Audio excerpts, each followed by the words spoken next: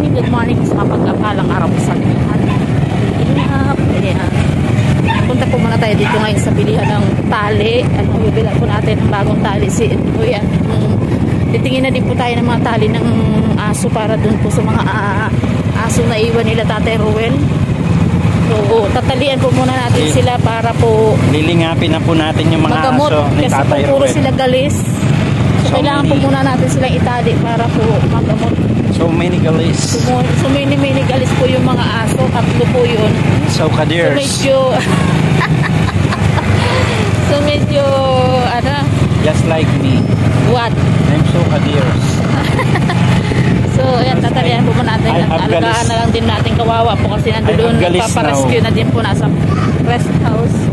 Nasa rest house. So, ayan, bibila natin ng tali. Hopefully, makakita tayo ng tali para sa aso. Kasi maliliit po yung aso.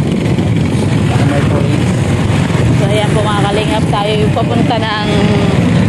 Yung daddy, o bilihan ng ano ba? Ayun yun.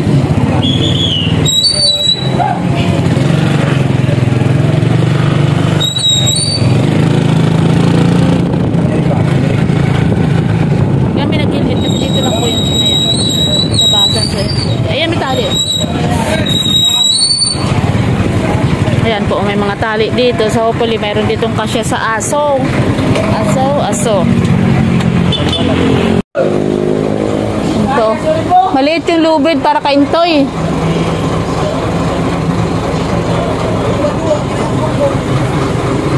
Baka sa manok to eh. Ate, mayroon kayo mas malaki dito lo. Ay, hindi sa adobo. Wala silang malaking tali para kay Intoy. Ngayon na diyo. Dalawa yan ah. Magkakulay. Ha? Tali? Yung bakal lang.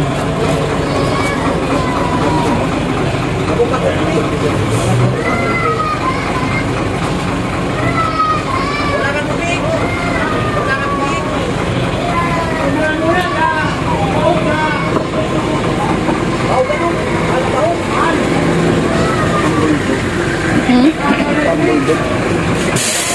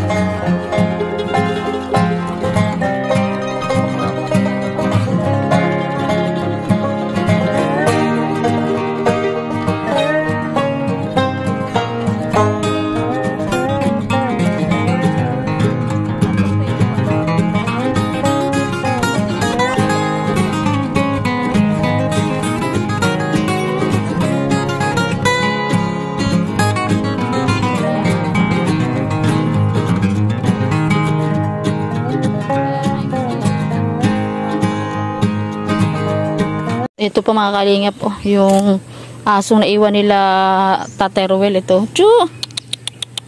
Ayan. Mailap sila, mailap sila sa tao. Kaya kailangan po muna natin silang talian pa hanggang sa umamo at para mapaliguan sila. Kasi ito isang to, eh, medyo hindi pa po yan magalis. Pero po yung nandun sa kulungan, yung dalawa, ay yung dalawa, hindi ko alam kung po yung nasaan yung isa. Ito pong isang nakil na naka, nahuli na ni Jose itong isa. Ha? Yung? Yung mean? Ito, yung isa nahuli mo na, di ba? Yung isa na lang, ang dalawa na lang itong huhulihin. Ito, yung isa nahuli na ni Jose. Nailagay na dito sa kulungan kaya medyo madali-dali na itong talian.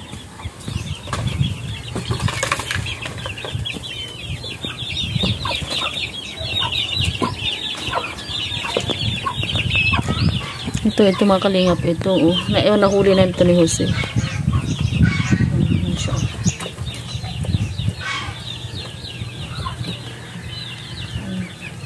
Ito isa naman oh. Medyo maamo na rin naman to isa. So ayan, tatlo po yan sila mga kalingap na ano na alagaan natin. Kasi yan po yung mga asong iniwan ni Tatay Ruel nila Ate Helen. So yan, alam ko po mayroon pa pong isa doon na malaki sa bahay nila. Pero hindi pa po tayo pwede pumunta doon kaya ito lang po muna ang mga pumunta dito ang binilhan namin ng tali. So para maalagaan po natin ito at mapaliguan sila ito. Ito nagagali siya. Itong nasa kulungan po. Medyo malala na ito eh. Dahil nagsusugat na po ang ano nito oh. Ang susugat na po ang ano niyang katawan. So titingnan po natin kung ano. Yun.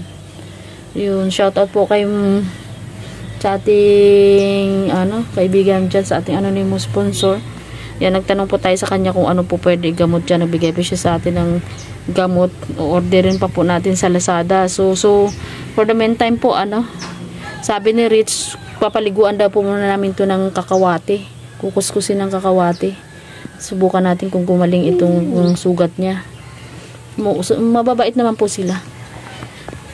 Siguro kaya lang naman sila naging mailap kasi na iniwan sila tsaka hindi sila nalalambing dati nila Tate Ruel. So malay mo sa atin, malambing naman tayo sa mga hayop. Ah, umamo sila. Ito lalo na itong sa umailap talaga yan. Pag nilapitan mo yan, tatakbo. Ito kailangan din yung paliguan kasi nagmumuta na yung mata. Sa gutom po yan at saka hindi na papaliguan. So yan. Kukunin ko yung tali. Bumili kami ng tatlong tali. Ba yan? Babae. Babae, gagi. Oo. Ayan po mga kalingap. O, nahuli na si. Ayan, tatalian ni Falcon. Yung orange daddy, oo. Oo, Mamo siya. naamo. Ayan. Wala palang lalaki dito, puro babae yan. Hmm. Babae rin yung dalawa na yung malaki. Yan ang alam ko lalaki. Hmm. Babae din. daw. Ayan, tatalian ka muna ha. Para makaligo kayo. Hindi na mahirap pulihin eh. Ayan. May binigyan natin ng pantag. Mga panali sa leeg. Ayan, behave pala ito eh. Pala kay girl.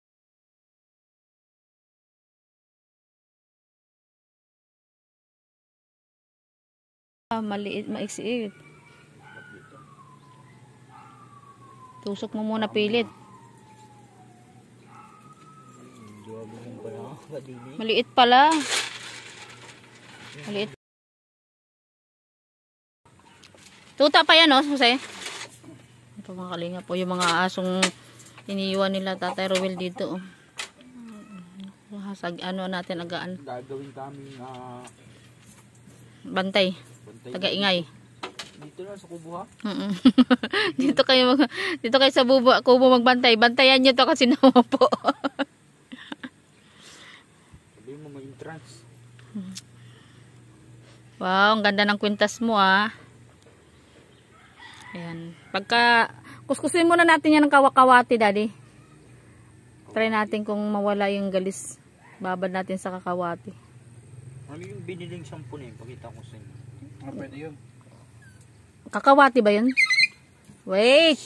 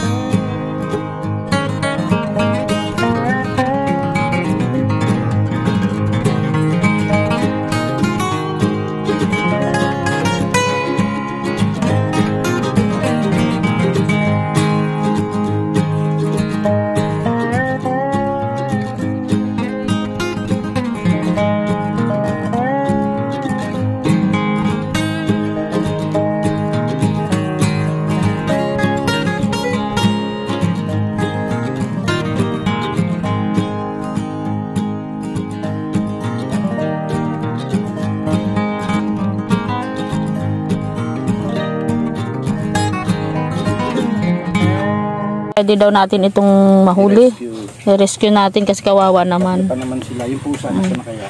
Siya po kasi ay isang rescuer din po yan sa ibang bansa. Marami siyang alagang aso. Puro galis po sila. Oo, yan. Puro galis. So yan, inano niya sa atin to kung pwede daw natin tong mahuli. Maalagaan. So ito, dalawang na to pa, ma ilap. Hindi naman sila mailap. Yung dalawa, Sige, yaman mo na kumain. Yaman mo na kumain. Lapit na dito sa isa. Ano? Lapit-lapit dito sa isa. Saan nagsasalo yun?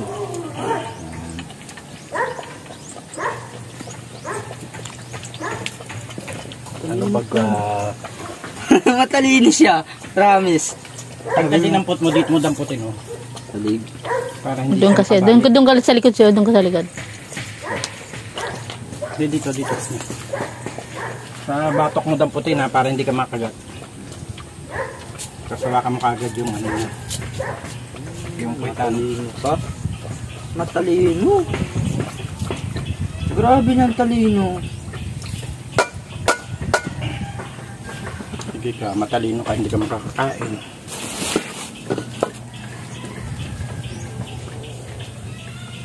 Yan. Batok. Mong bigla. Hindi siya piniglas. Yan, si batok. Uy, baka nang ulit. Taligo eh. Sabi ko dito oh. Saan ba yung ulo? Tali, ali, iya mo lang muna yung pagkain dyan, lalapit yan. eh. Iya mo na. Kasi mag ano yan. Yan.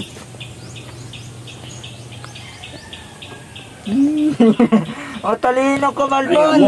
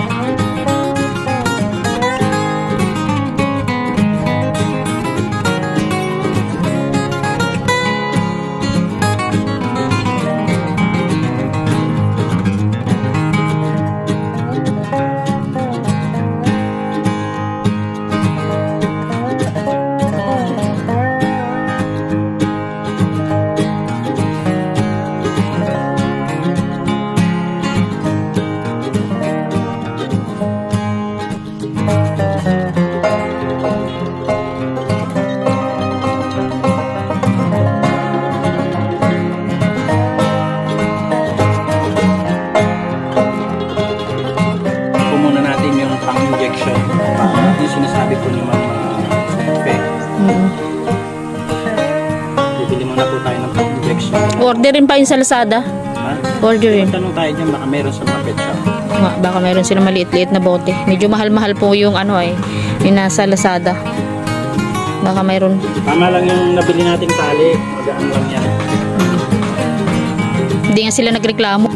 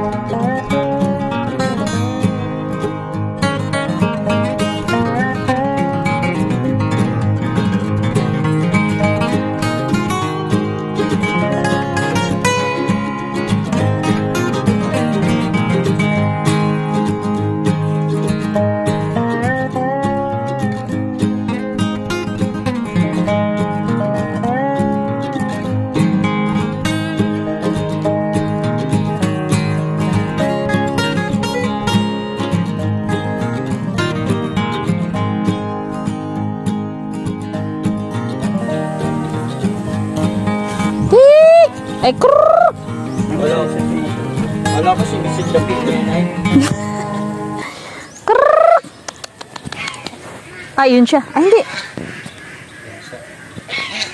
Si Festinay. Krrrr! Krrrr!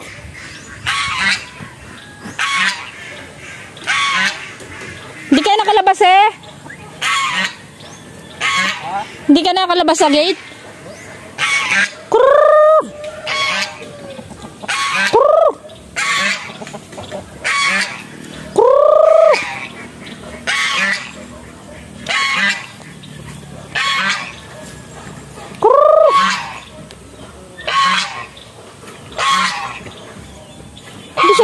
Sumalubong sa atin ah. Krrrr! Halika dito, ba't ka nandyan? Ayan, putik-putik ka na. Krrrr! Ayun siya oh, nasa putikan. Pasaway ka talaga, Tina. Inasan ka na naman. Ayan oh.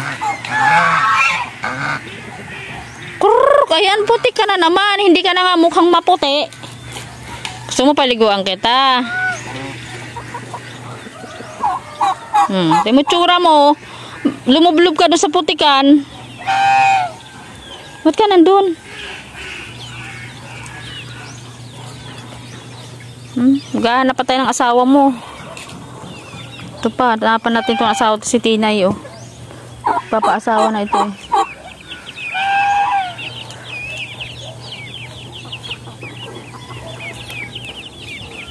Yan, bisitahin po muna natin yung ating ducklings. Tingnan natin yung bigyan muna natin silang pagkain. Yung ating ducklings dun sa baba.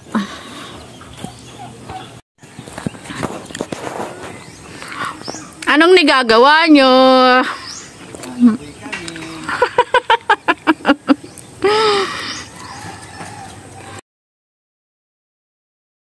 Babahuli din yan.